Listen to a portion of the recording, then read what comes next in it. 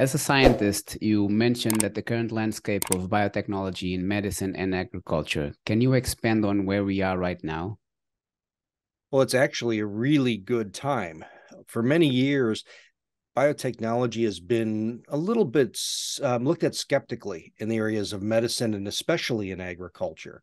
But we're seeing the front edge of innovations really reaching the uh, people it was intended to reach. So we all know about the large agricultural farms in the North America, South America, uh, some other places in the world that use biotechnology for corn and soy and large agronomic crops.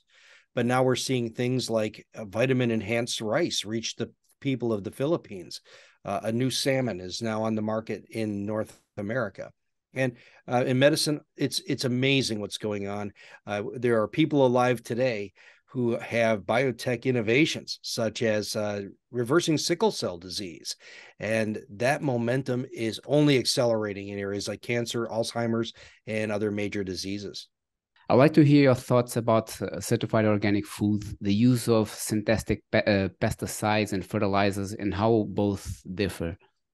Sure, this is really important because when we talk about organic production, we're talking about the use of non synthetic inputs. So you can use uh, nitrogen, it just can't come from uh, fossil fuel sources like uh, natural gas that uh, where, where natural gas is confined with uh, atmospheric gas to create nitrogen that can be used on the farm. Uh, you can get nitrogen from uh, compost. You can get nitrogen from breaking down other products. so that's the big difference. The plant doesn't know if it comes from one source or the other. The other place where we talk about differences between organic production and the conventional production is in other inputs like insecticides uh, or other pesticides. Organic cultivation can use pesticides and can use uh, fungicides, but they have to be natural compounds. So you have to use things like copper. You have to use things like uh, spinosad, other naturally occurring toxins that can limit the growth of bacteria and fungus uh, or insects. Uh, in synthetic uh, conventional biology you can synthetic farming or synthetic uh, products you can use conventional in conventional farming you can use synthetic products uh, that are more effective on a much smaller scale. So it's a really difficult uh, challenge for me to think about as a scientist that you have very effective ways that are synthetic that are very uh, low input you know maybe a few uh, milliliters per acre whereas something like copper you may apply a kilograms per acre. So it, it's it, for me uh, i understand the interest. I understand the idea of only natural toxins are better. Um I, I it still is something we have to look at very carefully on a per input basis. What is the different chemistry? Where does it go? How does it affect our bodies? And what about the nutritional value between both well, that we've looked a lot at this, and there's a lot of work that's been done here. And when you look across the board, the nutritional value is almost identical between the two. The one thing that we see consistently coming up higher in organic products is that you do see higher levels of different polyphenols and other antioxidant compounds that typically are associated with plant stress. So plants that maybe are having uh, some insect pressure or fungal pressure may exist, may exert a little bit higher pressure on these particular types of uh, compounds. But in general, it depends a lot more on, it isn't whether you use natural or synthetic compounds that change the um, uh, nutrition quality of the plants. What it mostly is, is is your farmer fertilizing? Is the farmer using adequate water? Are you protecting from pests and pathogens? Are you using the right genetics? You know, the right varieties that give you the uh, uh, that give you the correct or give you higher amounts of these vitamins in the plant products. Um, in general, we live in the best of times in terms of uh, fruit and vegetable production and animal production. Uh, so everything is, is really abundant and diverse, and uh, significant nutrition can be found. What about the taste between non-organic and organic? It's clearly like a completely different worlds. What's the difference there? Yeah, well, the big difference there may be in where you're getting it from, and that eh, when you're harvesting things, when you have organic farmers who are typically producing, um, are you buying this from a local source potentially? Yes Yeah, so you're getting something that was pulled out of the farm probably this week, or something that's farmed conventionally on a larger farm may be coming from uh, pretty far away. And it's that post harvest quality that makes a difference. Um, smaller farmers, organic farmers, or small farmers like my wife, um, we can choose varieties that can't be grown on the big farms that maybe the large farms have uh, a variety that has a certain resistance to disease that they have to have that they don't want to manage that we can manage for, as a smaller farm. So it much more is a function of genetics and that you can use and the cultivation strategies you have to use them and also that post harvest supply chain. If it's going from the farmer to you it may have a higher quality and better flavors and aromas than something that was harvested two weeks ago you know, in, in the EU, possibly in Morocco or Turkey, brought all the way over to Portugal, that uh, has a significant supply chain. So besides obviously like the scale, there are uh, additional notable challenges that certified organic vegetable farmers faced that industrial vegetable farmers do not. Well, uh, the the big changes. Or I'm sorry. The question is, what are some of the challenges, challenges. they face? Sure. Oh, it's a lot, many challenges eh, because you're, and I have a lot of respect for organic farmers because of the challenges they face. They're uh, having to solve the same problems conventional farmers have, only with fewer resources or the fewer um, solutions at their disposal. Um, as I mentioned, my wife farms, and we are a conventional farm, but we use a lot of the same organic strategies to handle pests and pathogens. Um, she doesn't want to deal with chemistry or the cost of chem high, of conventional products, so we alternate, and we'll use an organic solution, and then we'll use a conventional solution. The big challenge to organic growers is it's a lot more labor. It takes up more land and space to get the equivalent yield. Uh, yields are generally a little bit lower, but that depends a lot on the farmer, on your experience, on the specific crop that's being grown. Um, some organic farmers do do tremendously well with yield. But if we look overall, it just is a whole lot more work for more product for for the same amount of yield. And that results in higher prices for the consumer. That's why there's a little bit of a difference. What about pest disease resistance between both? Well, that's where uh, where conventional farming sometimes has a little bit of an advantage because you can use varieties that actually have genetic engineering, and genetic engineering is allowed in things like corn, soy, sugar beets, um, some papayas, and when you can use the genetic engineering traits for insect control on corn, for instance, it allows the plant to make the protection against the insects that feed on it. And then you don't have to use any kinds of sprays like conventional farmers on non transgenic or non GMO varieties have to use sprays. Organic farmers have to use specific types of sprays to control the earworms and other types of insects that would normally cause organic corn to be attacked by insects. So here's a case where if we're talking about purely um, less input, meaning less insecticide, the GMO corn is a much better choice than either standard conventional or organic because the farmer doesn't have to apply anything in order to have a successful crop. But how does the use of genetically modified seeds in industrialized vegetable production compare to the use of heirloom seeds in certified organic vegetable production? Well, heirloom seeds are, by definition, the seeds that couldn't cut it in commercial production. Okay, so these are older varieties that have maybe have excellent flavor, excellent aroma, and I love heirloom tomatoes. I love heirloom vegetables. We grow them, but the problem with them is that you don't get very good yields, and they don't stand up to those types of large commercial production standards. And so, anything that we produce that's heirloom, we can produce enough for farmers market and and that's all we can produce. I mean, it's not very much, and it's a lot more work. Um, if we can go with modern hybrids in, and so they're not genetically engineered tomatoes, um, cucumbers. These are not GMO vegetables. Um, they just they never were. Um, we have we have good hybrids that give us higher yields and give us still excellent flavor, and that's getting better all the time. So the new tr- the new trend is how do we get heirloom flavor and heirloom aroma and all those good old uh, traits in modern varieties that were really selected for yield, d- disease resistance, um, color, size, um, all those things, the production traits, shipping. So, how do we get the heirloom traits into the modern varieties that have all of those modern production traits? And that's happening now. Can you show some practical ways? Well, I can give you a good example. Um, right here at the University of Florida, we created the Garden Gem tomato. When I say we, I mean Dr. Harry Klee's sure. lab. And, and this is a great tomato that took a um, heirloom variety and combined it against um, a Florida production tomato. And so you took the best of the production traits with disease resistance and yield and combined them with the superior flavor of something called Maglia Rosa. It's a little tiny Italian tomato. And those two together give you a very good tomato that has a lot of the flavor and aroma, but high yield and excellent resistance to disease, and much better than the heirloom, but um, and much better flavor and aroma than the industrial tomato. What about the labor practices? The differences between the industrialized vegetable production differ from those used in certified organic vegetable production.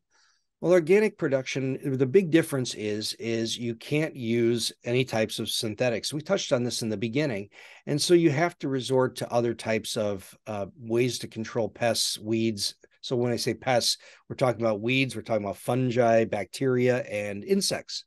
And so you need other ways to control those problems. And so you have to do for weeds, it's a lot of manual cultivation. It's a lot of which could be done by hand or by tractor or whatever. Um, you're resorting to um, other strategies such as um, the use of beneficial insects. Like let's say insects that prey on the um, uh, ones you're trying to get rid of. Uh, having more um, uh, other types of um, uh, bacteria that we can use to colonize or fungi that we can use to colonize organic crops. You can spray them with fungal spores from one type of fungus that maybe will take the place of one that might be pathogenic. So there's a lot of really cool strategies that organic farmers have available that but they're usually a little more expensive, not as effective and have to be reapplied. So it costs a little bit more. And so that's why you see a difference in price when you look at that at the market. What role, from your assessment, that science communication and outreach in promoting the economic benefits of certified organic vegetables, both to the public and also helping farmers as well? Sure. Well, the, the big thing is is talking about what what important aspects of sustainability organic farming brings to the table. And when you're when you're asking questions about uh, how, how does it what are the benefits? And you really focus on the idea that here you're using all natural import uh, inputs that are able to control uh, pests and pathogens to allow food production. And that's the way that the communication strategy really needs to work. Unfortunately, the communication strategy around most of the organic industry has been here's why the other stuff is bad. And the problem is that the conventional farming really isn't a problem as much as people would like it, as much as the organic industry would like you to believe. The conventional crops, when you look at them quantitatively for the relative amounts of nutrition or whatever, are about the same, and you get higher yields on. So less space fewer inputs um, just synthetic inputs and you get an equivalent product. So it's it's a really interesting uh, equation for me.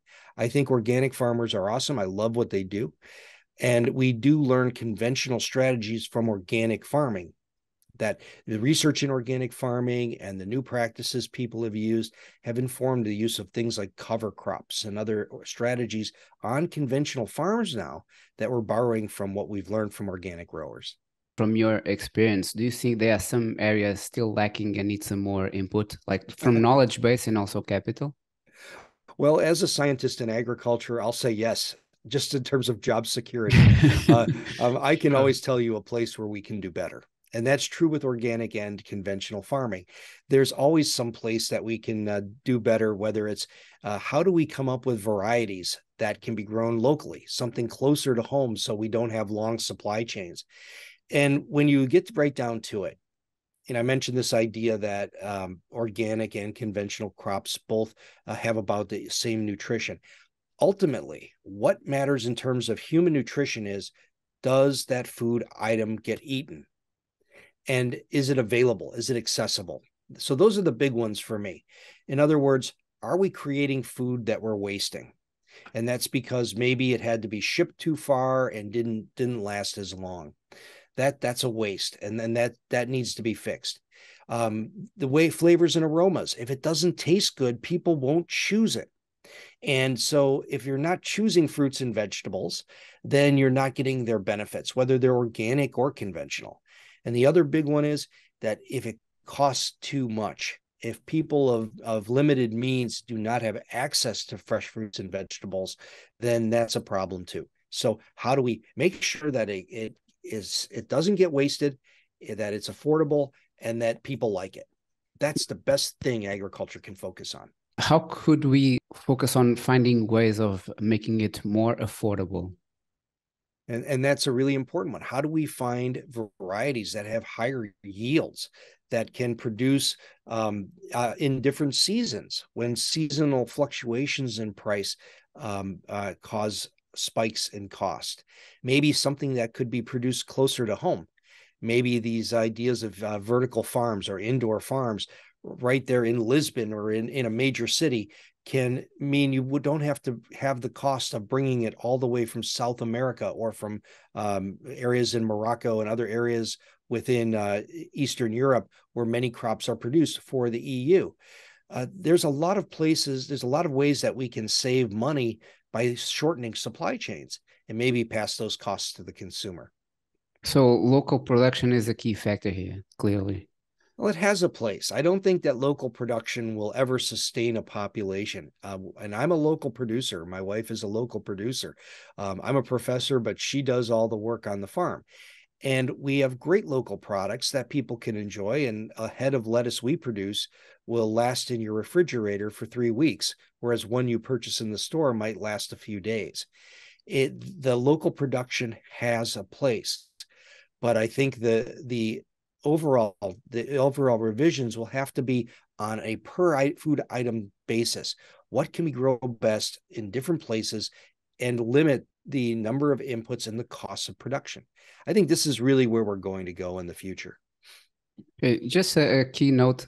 From your expertise on functional genomics photomorphogenesis and small molecule discovery can this be applied to other certified organic crops in the future in terms of economic benefits well, genomics is a huge area. Genomics is this ability to make decisions on uh, on crop genetics based upon looking at all of the genes that are there. So what what it, what this means in terms of creating new varieties is that someone whose job it is to make the next best tomato or the next most productive cucumber or one that can survive maybe drier areas of the world or wetter areas whatever. It allows you to pick the best parents by looking at the genomics, uh, by looking at the DNA of those individual parent lines and seeing which traits they travel with.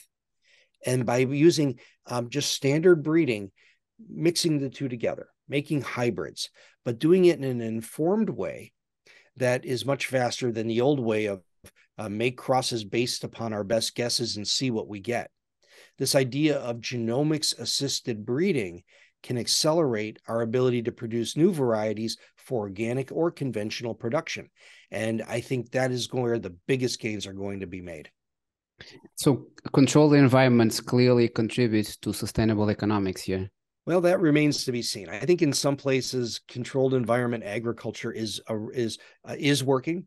And if you live in a large population center, you can produce on one side of town and sell in the other but that's the power of having these types of uh, controlled environment or for indoor vertical farms. It's also very good for a limited number of plants like leafy greens. Uh, we don't see this being particularly applicable yet for things like strawberries or blueberries or tomatoes. But i think we're still in the infancy of this discipline. And as we begin to identify new varieties that work in these spaces, you'll see more and more indoor crops coming and more greenhouse and vertical farms uh, uh, starting to pick up momentum. We see it doing very well in the Netherlands. Um, over in Portugal, you're probably getting tomatoes and cucumbers from the Netherlands all the time. And I think that that's something that is potentially going to be a growth industry as we get better at it and get better uh, varieties that do better inside those environments. From like a statistical point of view, I'm interested in knowing if there would be a way of comparing, like uh, doing different hypotheses between like crops in the same area. You mean from uh, of of testing different types of varieties inside yes. those areas? Yeah, I, I, I think that's where that's going, and I'm sure that uh, researchers in your institutions in in Portugal are looking hard at this because right now the the big trick is how do we come up with new varieties that fit those particular Portuguese niches, uh, those specific uh, environments well, and keeping in mind that environments are changing with the climate, and that we don't see the same opportunities we saw uh, 50 years ago happening now.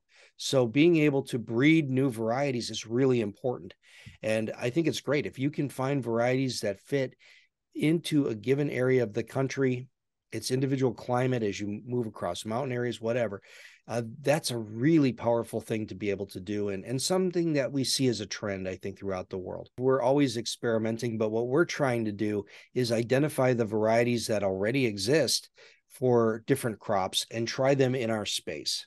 So if it already produces an excellent fruit, how does it do in our area, which is extremely hot and humid, except um, and, and with some very cold periods uh, that are very short. It has to survive the cold yet thrive in the heat.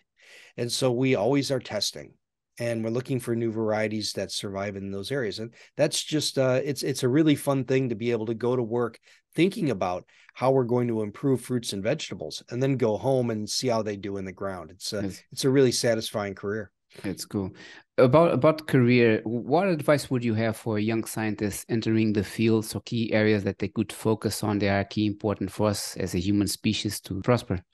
Yeah, and then this is a great question. I think that a, a student today, and I tell my students this, the job you have you will take may not have been invented yet.